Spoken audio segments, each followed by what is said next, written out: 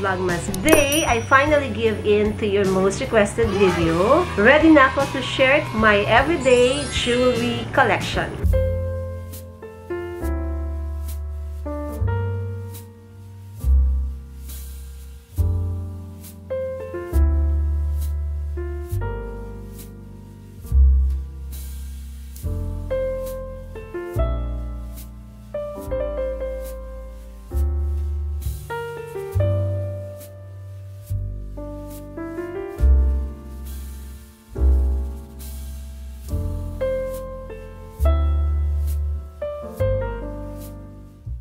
Things first, I want to say that this is just a small collection. I have accumulated most of it just this year. Siguro started off mga April. I'm hooked into buying jewelries online. Hindi ko alam why I found myself buying one after the other until na-accumulate ko na yung meron ako ngayon. While it's nice naman to invest in gold rather than keeping your money in the bank, whether savings or current na hindi naman talaga nag-earn ng ganung kalaking interest, might as well invest into gold kasi nag-appreciate yung value. Feeling ko hindi naman kayo malulugi dahil pwede nyong ibenta ng mas mataas. Parang sa investment, you just put your eggs into different baskets, no? Kunyari, meron kayong cash in bank, tapos meron kayong mga investment into mutual funds, pagkatapos meron din kayong investment sa stocks, meron kayong investment into gold. Basically, maganda, di ba? Kasi iba-iba. Kasi just in case may babagsak, meron namang nag stable or nababalanse din. So, parang ang sabi nga nila, when it comes to investment, diversification is the key. So, I have here itong tatlong jewelry box. Part of the year, wala akong jewelry box. Meron na akong isang maliit na lalagyanan kung saan doon ko lang nilalagay yung mga items ko. And then, I started off buying this small one. Tapos, kulang na siya. So, I bought another one. My last purchase. Also, I bought a weighing scale. Just so, mako-confirm ko lang na yung mga binibili ko online, tama yung grams. Gold naman kasi ang buying natin dito sa atin per gram. So, pag sinabi ng buyer na ganitong gram, gusto ko lang is tama. So, ang current price ng gold, around 3,000 to 3,500 per gram. Pagka mga brand inspired, medyo mataas. Hindi ko alam bakit kasi press naman yung gold, 'di ba? Nagre-range siya ng mga 3,005 to 4,500. Pero hindi ko lang alam kung magkano yung bilihan ngayon per gram sa ongpin. While nagpa-fluctuate naman talaga yung per gram ng gold, pero at some point nagiging stable din siya more or less, may range. By the way guys, all of my jewelries are 18 karat solid gold. Feeling ko yun yung pinaka minimum baseline na magandang investment. Though meron akong isang item na 21 karat dahil lang nabili ko siya sa Dubai. Meron ako ditong mga few pieces na I bought long time ago when I was like mid-20s. Yung mga nag start na akong mag-work. Though, hindi ko na siya ginagamit for a very long time. But it's still here. Kasi nga, parang ayoko rin naman siyang i-dispose. Kaya, andyan dyan lang kahit hindi ko ginagamit. Bibigay ko kay Hazel. So, ito yung first item na nabili ko nung nag-start na akong mag-work. And this is a very nice necklace. I'm sure nakikita niyo to na suot ni Hazel sa mga vlogs niya before. I gave it to her na dahil, yun nga, hindi ko na siya ginagamit. Mahilig ako sa mga chain na may mga meaning o yung mga lucky chain like, ayan, key. Kasi it's a key to success. Charot. Yung mga mid-20s ko, minimum wage lang noon, I remember, if I'm not mistaken, about 7,000 per month. So, kapag ka nakaipon na ako ng mga between 4 to 5,000, pupunta na ako sa Ongpin to buy something for myself. And eto nga yung unang-unang nabili ko. This is around 4,200 pesos and it weighs almost 5 grams. Ang per gram pa ng gold noon is nasa 900 lang. Imagine guys, 900 pesos per gram versus nasa 3,000 to 3,500 per grams na ngayon. It only proves na gold is a good investment. Okay, so next item is this ring. This one is my birthstone, emerald. Tapos meron siyang maliliit-liit na diamond. And ang nice niya kapag kasuot dahil yung design niya is medyo merong wave. And, ganun pa din. It's just around 4,000. Ang weight nito guys is about 4.5 grams. Tapos mga nasa 4,000 lang yung bili ko dito. Next is another ring. There! Oh, ang cute niya, ba? Paikot siya na parang merong diamonds. Ayan. Medyo hindi na siya kasha. Maliit na din. Ayan guys. Oh, ba? Next items are those I bought abroad. So, ito yung mga times na pagka meron akong work, meetings, o kaya may bakasyon. Ako kasi gusto ko yung mga bumibili ng something kapag nagta-travel kami. Parang that reminds me of the place, of the occasion. Gusto ko may story behind dun sa purchase ko. So, this one, ito lang actually yung necklace ko na white gold. This is a keychain na may diamonds. Ayan. I got this in Shanghai in 2010. Nice. Another item is this very nice ring. It does look like a wedding ring, pero hindi siya wedding ring, guys. Natatanggal yung gitna. Tignan nyo ba? Oh nakakabet natatanggal. So, ayan. I got this in KL in 2011. Pag nakikita ko to, natutuwa ako kasi hindi talaga siya nagbabago. Pag titignan ko siya ngayon, gustong gusto ko pa din siya. Yan ang kwento. Next naman guys, is a stud diamond earring. Ay. Meron tong certificate. I bought this in Singapore naman in 2012. So, in one of our budget meeting. It used to be a favorite pero matagal ko na rin hindi ginagamit kasi naliliitan ako. Hinigay ko na to kay Hazel pero parang hindi naman niya bet. Parang gusto ko na siyang i-dispose. Tapos bibili ako ng mas malaki. Eto guys, 21 karat siya. I got this in Dubai in 2015. Ayan. Ang ganda-ganda nito. I love ako dito. Mmm. Diba? This one is 21 karat. Pag mataas yung karat ng gold, mas malambot siya. Tapos mas mahal. Ito is mga nasa 2,800 ng per gram. Tapos 21 karat pa siya. Very nice. Another item from Dubai is this diamond earring. Nakita lang ako sa kanya nung nakita ko to. Marami siyang uh, diamonds na maliliit and this has a certification din. Used to be a favorite in the past. Lagi-lagi ko tong suot. When I was like 20s, parang ang uso talaga yellow gold. Kaya may yellow gold ako. Pagkatapos nung nag-start na ako mag-work, mas uso or mas okay yung white gold. Kaya meron akong mga ganito. Tapos ngayon naman parang I'm back into yellow gold. Meron na siyang season, ba diba? Happy pa rin ako sa kanyang tingnan. Finally, yung last purchase ko, ito naman yung last trip namin namin sa Macau just before the pandemic. Itong very, very nice na necklace in um, rose gold. Ayan. ba diba guys? Ang ganda-ganda niya. Oh, may mga diamonds din something. And then, ang ganda ng chain in a way na very unique. May mga bilog-bilog. Anything kasi na mga bilog-bilog for me is lucky and so cute. So, gusto ko tong necklace na to in a way na nung nakita ko siya, binili ko siya agad. Walang patumpik-tumpik. So, may mga instances kasi na para pag may gusto ako, parang I need some time to think it over. Pero meron naman talagang, I know this is the one. This is it! I know it. So, eto yon Saka ito rin yung mga length, parang feeling ko perfect, nasa 18 inches to. And by the way guys, yung mga jewelries, merong pangalan yung design. Merong tauku, meron say for example, paperclip. I'm not sure about the name of this, no? Kasi I'm not after din sa name. I'm not after also if this is brand inspired or what. Hindi ako familiar. So baka pag sinabi ko magkamali ako. Ang criteria ko when buying jewelries, number one, importante importante sa akin dapat 18 karat so solid gold siya. Second, gusto ko yung design. Number three, syempre dapat kaya ko siyang bilhin. So, yung tatlo na yon dun ang basis ko. Ito naman yung mga items na binili ko locally and just this year. Start tayo with this brand-inspired na Cartier na love bangle. I got this in one of a store sa SM yata. Comes with this screw pag sinusuot ko to, hindi ko siya kadalasang hinuhubad. Next naman, ito is a hoop earring. Cute lang niya, guys. Na-inspire kasi ako dun sa mga hoop earrings ni Jami. So, sabi ko, try ko nga. Tapos, nung nakatry ako, bagay din naman pala sa akin yung hoop earring. Sanay kasi ako mga stud. Kaya, sige nga, try nga natin yung mga hoop. And this is my first hoop. Diba guys? Ang ganda. Nakala ako pang stud lang ako. Mm. Dahil bagay pala sa akin. Siyempre nasundan. Bumili uli ako ng another hoop earring. This time, medyo bold na. Medyo malaki. Hindi ko pa talaga siya nasusuot Ayan. This one is from Skylove PH. Natuwa ako kasi parang may iba siyang dating. Hmm, kailangan ko yata ng party para magamit ko to. Ayan. Mm. Siyempre, hindi pa din doon natapos ang ating hoop earring. Meron na naman akong binili. Parang bumabagsak yung tenga ko kasi nga medyo mabigat. Careful lang kayo guys. Ang tendency lulundo yung inyong earlobe ba yan. Katapos, baka lalaki yung butas. Ito na yon. I think they call it parang hardware eh. Brand inspired daw to. There you go. Oh. Siyempre dahil natuwa ako sa mga hoop, meron naman akong padangling. This is so cute, no? Nung binili ko to, hindi ko alam na ganito kaliit. Ito yata yung isa sa mga unang-unang bili ko ng earring. Tapos hindi ko pa alam. Marami palang sizes.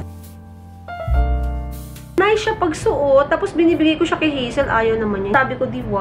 I got this from Adlux. ba? Diba? Cute lang. Sobra palang liit. Pang bata. So, bumili naman ako ng mas malaki. Okay, so ayan ang evolution ng earrings. At dahil dyan, bumili ako ng turno nito na ring at saka bracelet. The ring now is this. There you go. Gustong gusto ko to guys kasi ang ganda ng lock niya. Very secure. This is a Tiffany brand inspired na bracelet. I got it from Alajera de Marci. Next item is another brand inspired na ring. I got this from Adlux Jewelry. And then, pinapatungan ko siya ng gemstone na ring, na parang eternity ring. Ayan. I got this from TJ Jewelry Shop. Pagka dalawa sila, they look so good. Another ring, which is also a brand inspired. Medyo mabigat to. This weighs around 6 grams. I got this during our birthday. Dalawa to, tag-isa kami ni Hazel. I so, so love it. So, another ring din. Dainty ring na diamond, which I so love kasi ang cute niya.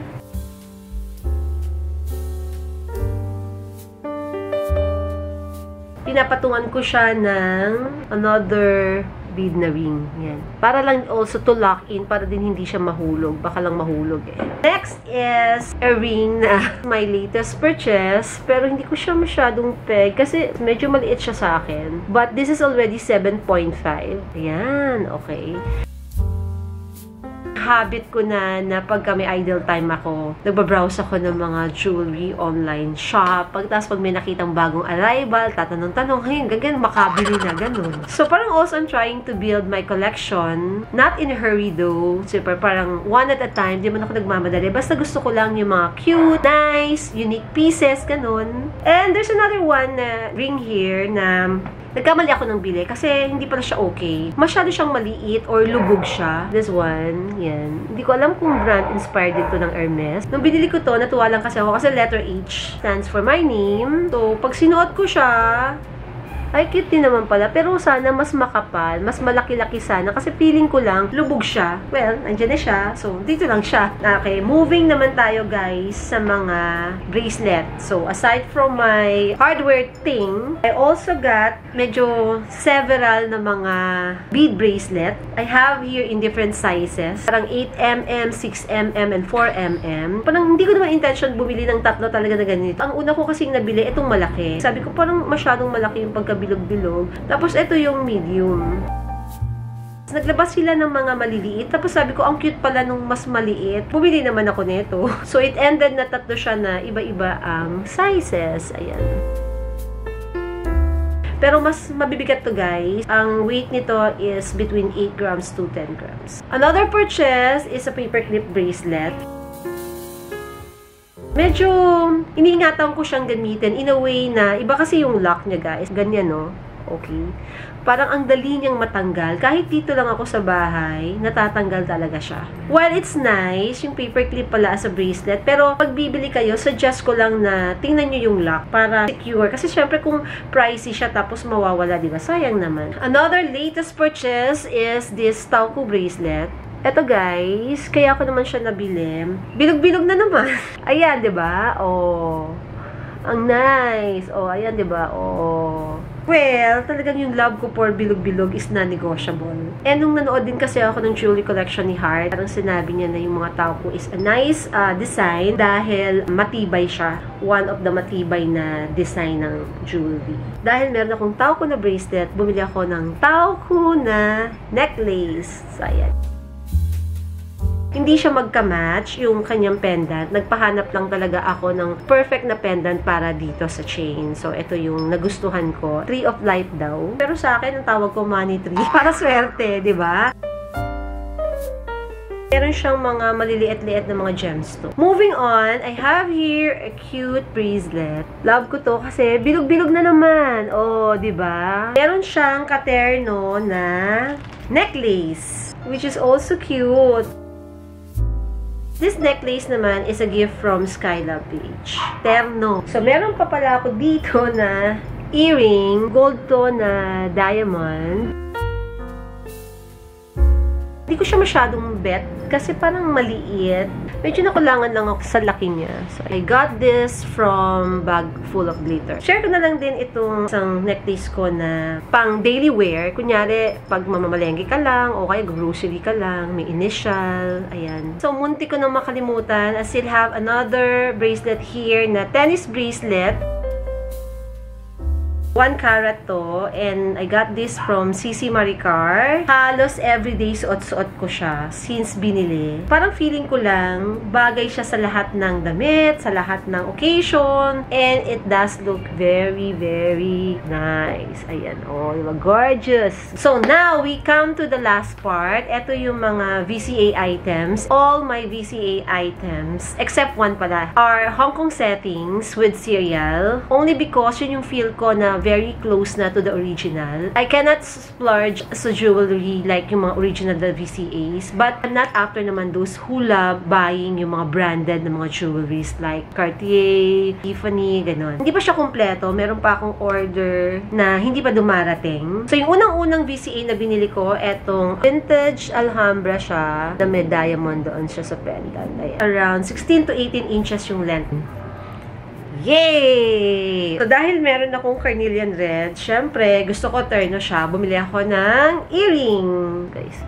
The size is 10mm. Gusto ko lang ng hindi masyadong malaki. Kaya, uh, pinili ko yung 10mm. At syempre, kung merong kwintas, merong hikaw, bumili rin ako ng bracelet. Minsan, gusto ko ng mga parang nakamatch, ganyan, turno-turno siya. There are times naman na parang gusto ko mix and match. So, depende. Ayan. Meron akong red, so bumili ako naman ng white, so yung mother of pearl. Meron akong earrings, so this one is 12mm. Okay guys, so para makita nyo yung difference, this is 12mm, this is 10mm. Ayan. And of course, meron akong katerno na bracelet. Etong bracelet na to, if I'm not mistaken, from TJ Jewelry Shop. So, wala pa akong necklace na mother of pearl. Ang inaantay ko kasi yung Magic Alhambra na size, yung pinakamalaki na 26mm. Next to that, I got this cute, dainty-dainty VCA na bracelet. Isang clover lang and Magic Alhambra siya, guys along with this, magkasabay ko silang binili. Itong heart shape naman, ayan.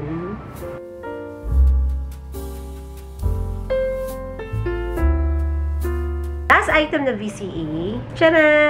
So, ito naman is malachite. Wala lang, green kasi rin also is favorite color. Pero hindi ko na intention bumili ng earring at saka ng necklace. Baka ito lang talaga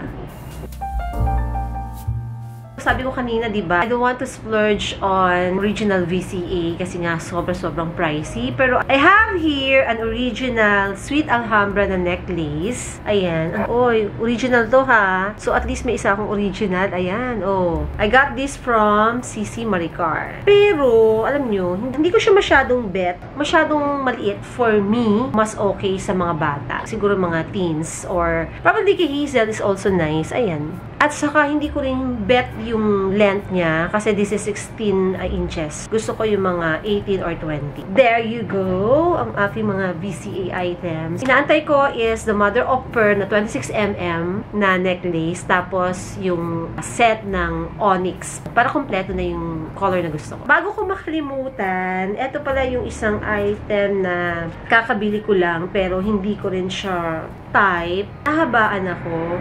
This one is Smiley na diamond siya.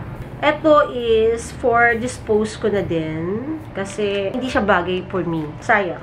Ang haba na nito. Gusto niyo pa bang marinig yung aking scam story? I will make it short and quick lang ha. Kahit pala marunong ka or aware ka naman, minsan talaga na-scam ka din. Ano? Parang naiengganyo ka din. Kasi I have to say, medyo parang napansin ko, medyo mura sila. Tapos, ang okay naman yung quality. So, bumili ako, nagbayad ako. The date then was August 19. Tapos, sabi sa akin, 5 to 7 days daw yung delivery. Puro August, 24, 25, nag-follow up ako. Tapos, ang sabi sa akin, wala pa naman daw 5 to 7 days. So, mag-antay daw ako. Parang hindi rin friendly. Nag-antay ako, after 7 days, ang sabi sa akin, wala pa daw, tatawagan daw ako ng courier, mag-antay nilang daw ako. Sabi ko, parang ang weird ba't courier yung tatawag sa akin, di ba? Bakit hindi nila ma-confirm kung kailan yung dating nung item? Ended na yung item pala manggagaling pa sa Saudi. From Saudi, syempre magta-transport pa daw, ganyan-ganyan. May nag-text sa akin na ang dating nung jewelry, mga September 16 or 17. So, parang lumalabas na kailangan kong mag-antay. So, nag-antay na naman ako. Wala na namang dumating. So, hanggang lumipas yung mga weeks, follow up ako ng follow-up, ganyan, hanggang sinasabi nila na nade-delay lang daw kasi nga daw pandemic, so may dahilan pa. So, and then, lumilipas yung mga weeks, follow up pa din ako. And then, sabi ko sa kanila, pwede ba balik nyo na lang yung money? Kasi, ang tagal na, hindi, wala namang dumarating. So, parang sinabi nila na hindi daw agad-agad mababalik kasi in transit na daw yung item. Kailangan daw bumalik sa supplier, i-check pa daw ng supplier bago ako babayaran. So, ang point is, from August 19 hanggang ngayon, walang dumarating na item, walang tumatawag, walang nagme-message sa akin, tapos yung Instagram account nila, nawawala na. Isa pang question mark is, yung kanilang Instagram account nagpapalit ng nagpapalit ng pangalan. Nung nangyari yun, na-worry na ako, oh my God, scam na nga yata. Hanggang sabi ko sa kanila, um, balik nyo na lang yung money, wala tayong pag-uusapan. So, for the longest time, wala akong sinasabi, nagaantay ako, pero I think, para naman sa mga tao na bumibili online, no, para hindi kayo matulad sa akin na na-scam,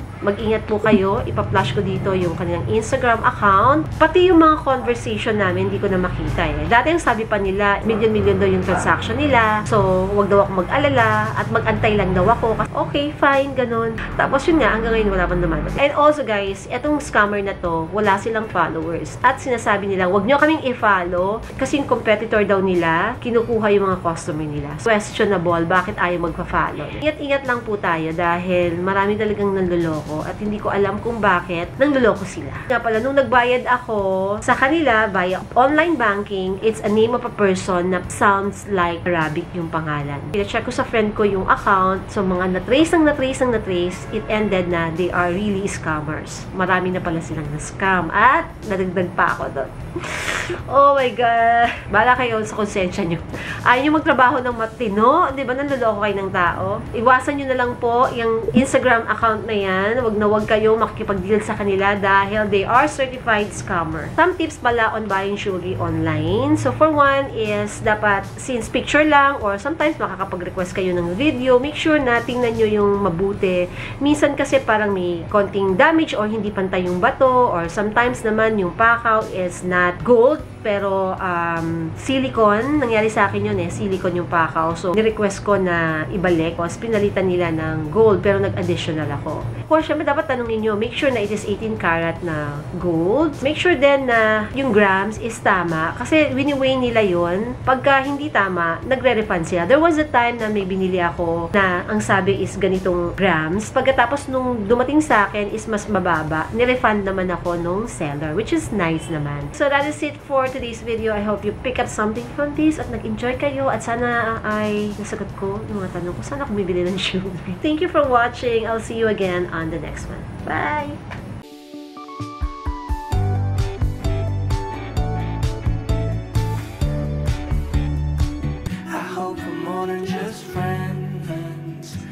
I wanna be.